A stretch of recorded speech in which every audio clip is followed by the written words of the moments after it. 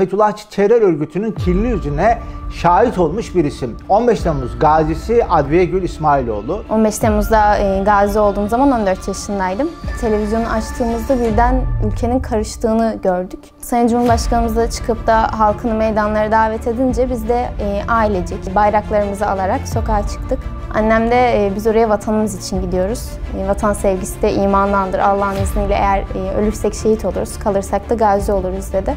Ama o gece o zalimliklerini o mermiler yağmur gibi üstümüze yağarken anladık.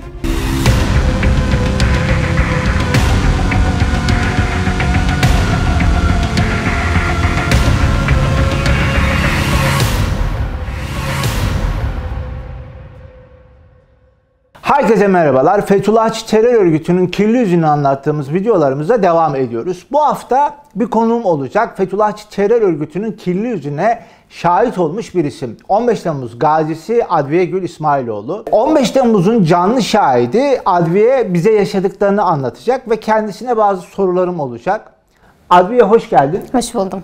Ee, öncelikle bize kendini tanıtır mısın? Ben Adviye Gül İsmailoğlu, 19 yaşındayım. 15 Temmuz'da e, gazi olduğum zaman 14 yaşındaydım. Şu an üniversitede birinci sınıf siyaset bilimi ve uluslararası ilişkiler okuyorum. Fatih'te yaşıyorum. Adviye 15 Temmuz'da ne yaşadın? Bize anlatır mısın? Hı hı. 15 Temmuz'da biz e, dedemlerdeydik ailecik. Büyük bir aile toplantımız vardı, kalabalıktık. O yüzden e, telefonlarımız kapalıydı, televizyonları açmıyorduk. O yüzden bir süre biz haberdar olamadık 15 Temmuz'da neler olduğu zaman. işte ilk köprüde askerler görüldüğü zaman biz bilmiyorduk.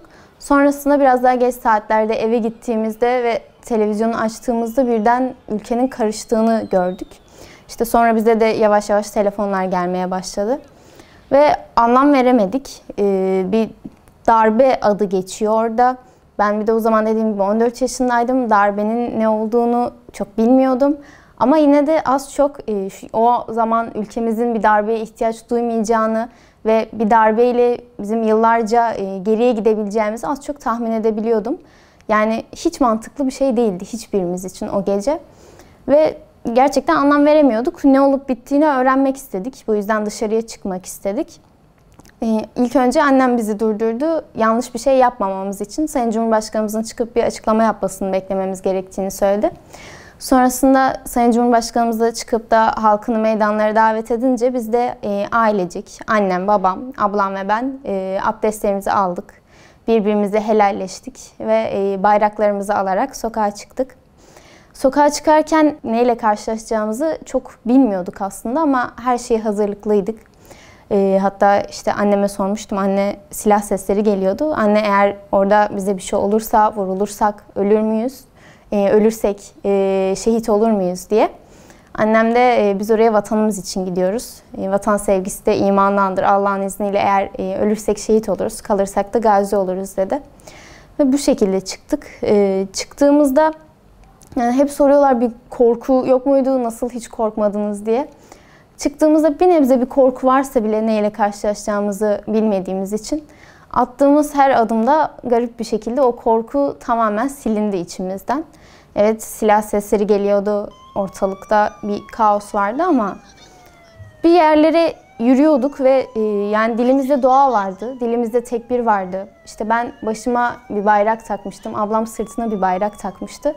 Ve bir cesaretle, bir güçle e, yürüyorduk. Nereye gideceğimizi de bilmiyorduk aslında.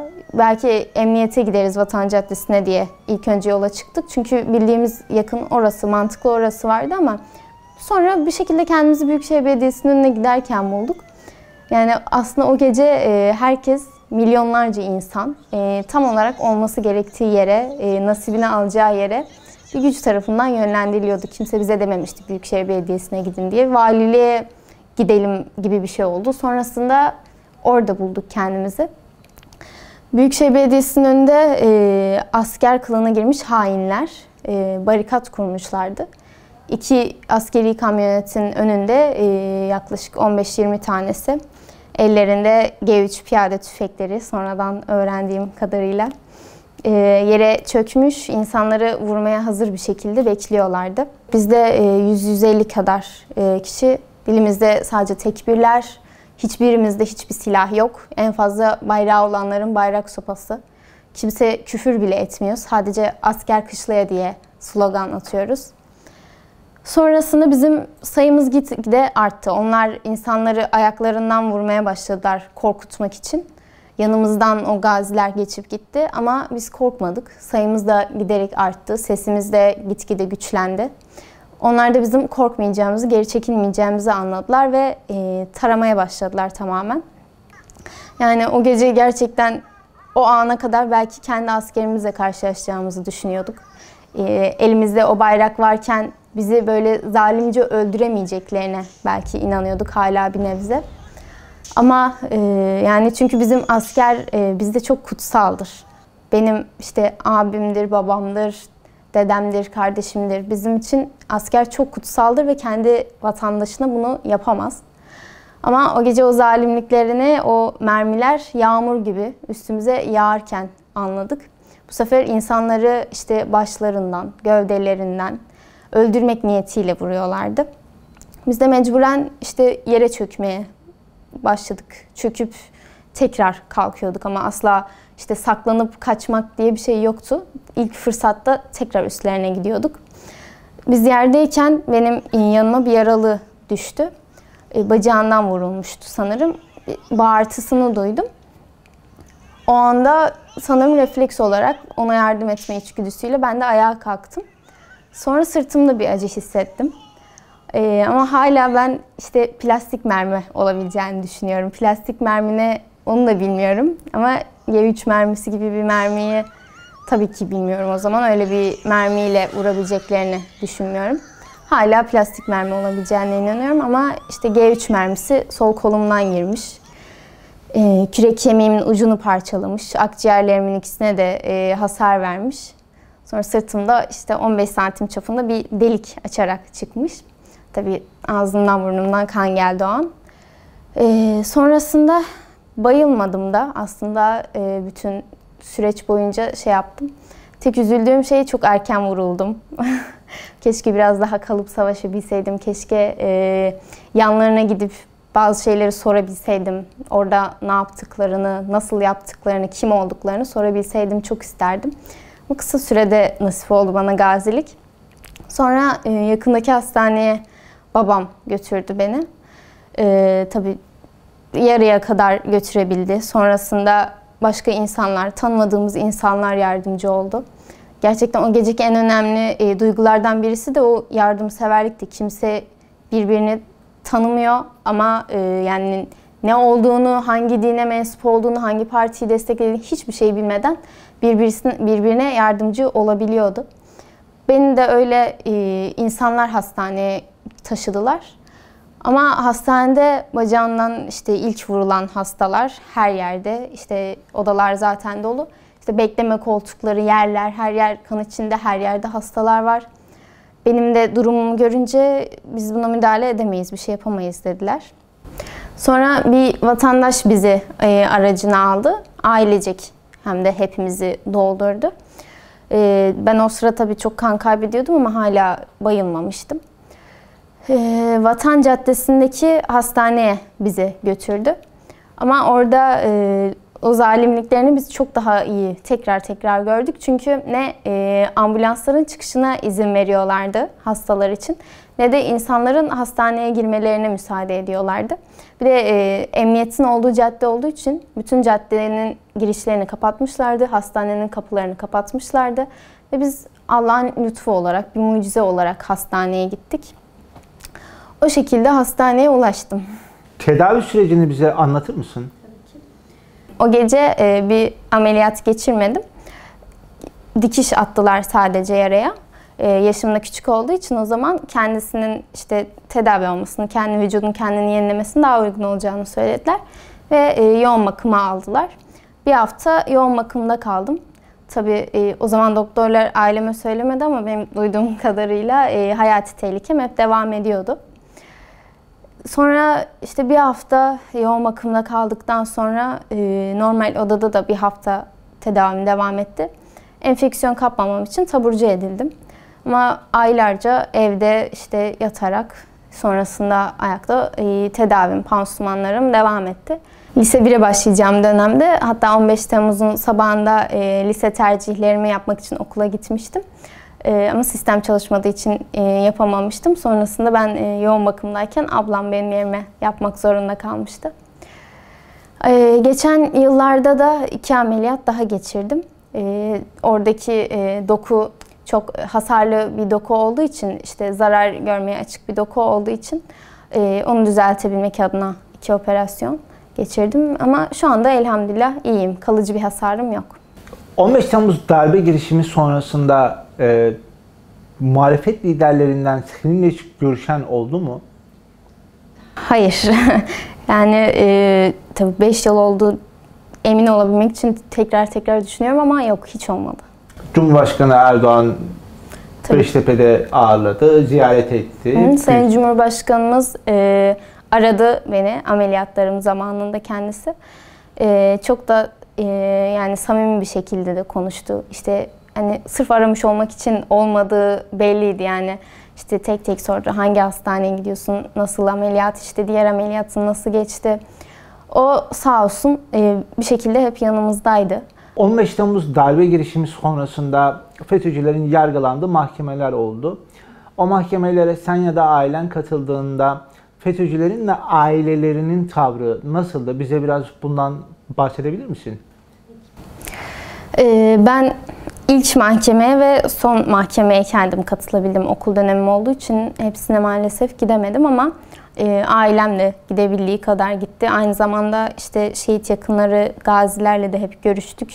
Hep yakından takip ettik. Ee, yani maalesef ben pişman kimseyi gördüğümü hatırlamıyorum. Yani ne kendileri, ne aileleri, ne avukatları. Ben mahkemeye katıldığım zaman e, o insanları kendi isteğiyle e, savunan avukatlara bile hayretle bakıyordum. Ki işte bazı avukatları da gördük işte mecburen gelmiş işte ben savunmak istemiyorum diyerek tavrını koydu. Ama e, o hainler bizim önümüzde sıralanmış e, ve ifade vermeye çıkarken hepsi farklı bir havadaydılar. Kimi işte çıkıyordu diğer arkadaşlarına gözdağı veriyordu. İşte beni bilen bilir, beni arkadaşlarım bilir. İşte bizim şöyle aşiretimiz var. Diğer e, erlerin e, gözlerini korkutmaya çalışıyordu. Çünkü bazı erler de vardı hani gerçekten işte bilmeden gönderilen, götürülen oraya masum olan ki sonrasında beraat etti onlar da. Onlar için de biz çok dualar ettik. Onların gözlerini korkutmaya çalışanlar da vardı. Ee, oradaki Saraçhane'deki en rütbeli e, asker de demeye dilim varmıyor. En rütbeli kişi e, çıkıp o geceyi hatırlamadığını söyledi. Sabah uyandığı zaman e, neden askeri hastanede olmadığını, neden kahraman ilan edilmediğini sorguladığını söyledi. Benim burada ne işim var diye. Sadece 15 Temmuz gecesini hatırlamıyormuş ve bizden e, aptal gibi buna inanmamızı bekledi. Ama o gece çıkıp da e, yaptıkları için pişman olduğunu söyleyen yoktu. Tam aksine e, oradaki şehit yakınlarına, gazilere küfürler edenler, işte saldıranlar oldu. Oradan işte o hani şeyin olduğu yere bir şeyler fırlatmaya çalışanlar oldu. Sizin Ki- bulundu yani hı. müştekilerin Evet, bulunduğu yere. müştekilerin bulunduğu yere saldırmaya gayret edenler oldu. Ailelerinden işte bir dönem hani şehit yakınları ve gazilerin müştekilerin olduğu yerle işte onların aileleri aynı yerlerde bulunuyordu ve kendi çocuklarını, kendi yakınlarının kahraman olduklarını, işte bizim hain olduğumuzu, bizim suçlu olduğumuzu, işte onların başını yakmaya çalıştığımızı söylediler. Onları alkışlarla uğurladılar mahkemeden çıkıp kaldıkları yere giderken otobüslerine. Ama eee, yani bizim hakimimiz en azından onlara fırsat eee, çok vermedi. Biz de kendimize eee, söz hakkı verildiği zaman eee, almaları gereken cevabı elimizden geldiğince vermeye çalıştık. Ama eee, ne kendileri, ne aileleri, ne avukatları eee, yüzsüzlük, kendilerini hala eee, bir kahraman görme, bizi hain görme, bizi eee, tehdit etme devam ediyordu. Sonrasında görüşeceğiz, ileride görüşeceğiz, yakında görüşeceğiz. İşte çünkü bizim isimlerimiz zaten belgelerde olduğu için ellerinde bizi o şekilde korkutmaya çalışıyorlar ama 15 Temmuz'da ellerinde o mermiler, o tanklar varken korkmadıysak onlardan e, orada nasıl korkmamızı bekliyorlar bilmiyorum. Peki Adviye, 15 Temmuz'un üzerinden 5 yıl geçti ve e, medyada, siyasette sürekli 15 Temmuz'da mağdur edilen FETÖ'cülerden, e, KHK ile ihraç edilenlerin nasıl mağdur olduğundan, işte cezaevindekilerin nasıl mağdur olduğundan bahseden bir sosyoloji oluştu. Siyasi parti liderleri, muhalif gazeteciler sürekli bunlardan bahsediyor. Buna dair bir şey söylemek ister misin?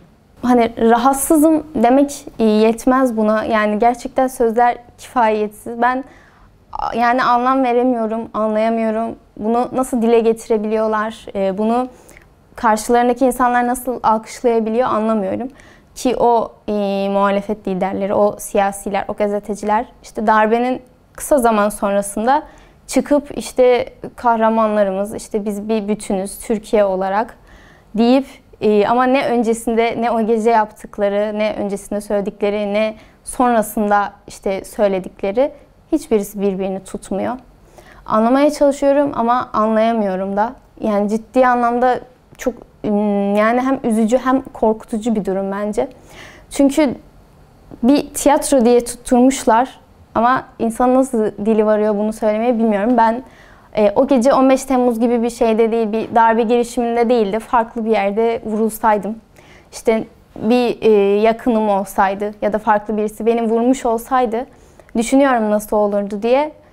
Belki de bütün Türkiye ayağa kalkacaktı ve benim adım da işte 14 yaşındaki bir kız olarak e, hashtaglerde dolaşacaktı. Belki benim için işte hakkımı savunma derdine düşülecekti belki de. Ama ben o gece vatanımı savunmaya, e, vatanım için oraya çıktığımda, vurulduğumda e, nasıl oluyor da işte yani bunu hak ettiniz demeye getirmeler ya da işte tiyatroydu işte siz de harcandınız demeye getirmeler ya da sizi bunu yapanlara biz işte e, asıl hak ettiğini vereceğiz. Onları kurtaracağız bu işte kötü durumlardan. Onları işte umutlar veriyoruz. Nasıl diyebiliyorlar anlayamıyorum. Demek ki yani ya iki yüzlülük müdür bu? Farklı bir şey midir? Ee, ana göre, duruma göre cevap vermek midir bilmiyorum ama gerçekten çok rahatsız edici bir durum. 15 Temmuz darbe girişiminde yaralandın, ameliyat oldun, aradan 5 yıl geçti.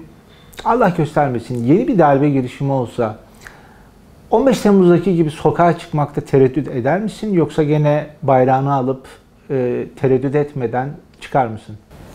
Tabii ki çıkarım. Yani bunu düşünmeye bile gerek yok. Çünkü e, biz şehadete çok önem veririz zaten ama 15 Temmuz'da e, çok daha iyi anladık. Yani hatırladım ben şahsen.